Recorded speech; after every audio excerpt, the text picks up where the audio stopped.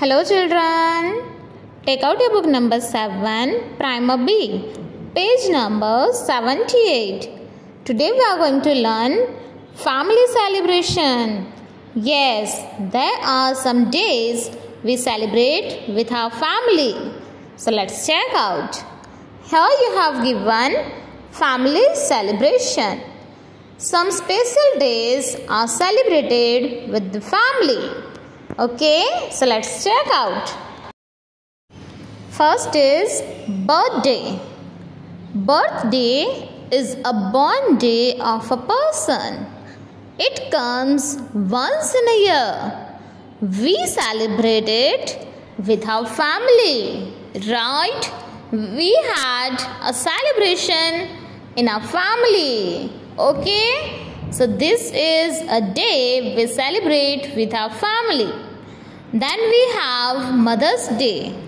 Mother's Day is a celebration honoring the mother of the family. Yes, it is celebrated on various days in many parts of the world. We show our love to our mother, right? So, this is also a family celebration. Then we have Father's Day. Yes, Father's Day is a celebration honoring the father of the family. Yes, it is celebrated on 19th of March every year. We show our love towards our father. Okay? Then we have Grandparents' Day. We celebrate Grandparents' Day on 12 September every year. It is celebrated to show the bond between grandparents and grandchildren.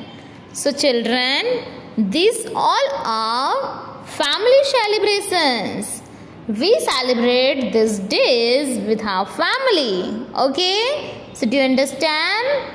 Okay then bye bye take care